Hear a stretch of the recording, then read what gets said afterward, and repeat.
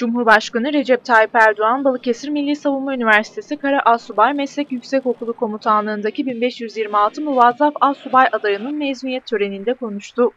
Bugün 15 Temmuz darbe girişimi sonrasında yeniden yapılandırılan Karaas Subay Meslek Yüksek Okulumuzun ilk mezunlarını veriyoruz. Cumhurbaşkanı Erdoğan dün Mısır'da Cuma namazında DAEŞ terör örgütünün katliam yaptığını söyledi. Dün Cuma namazında Mısır'da DAEŞ terör örgütünün namazda yaptığı katliam 250'yi aşkın Müslüman orada şehit edildi. Bunlara nasıl Müslüman deriz ya? Bunlar katil. Bunların İslam'la yakından uzaktan alakası yok. Bu gerçekleri bilmemiz lazım. Türkiye kardeş Mısır halkının yanındadır. Acısını paylaşmaktadır.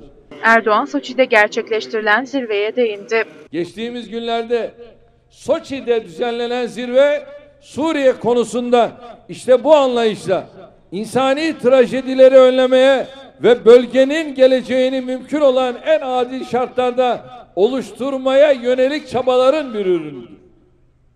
Bir terör örgütü eliyle ve bu örgüt bahane edilerek yerle eksan edilen medeniyetimizin kadim şehirlerindeki yıkımları durdurmak, oluk oluk akan Müslüman kanını engellemek için elimizden geleni yapmak boynumuzun borcudur.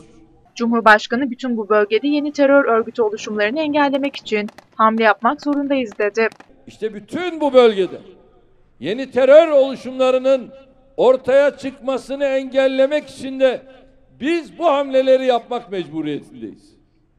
Bizden gözümüzün içine bakıla bakıla 911 kilometre Suriye sınırı, 350 kilometre Irak sınırı boyunca bir terör koridoru oluşturulurken kenara çekilip beklememizi isteyenler olabilir.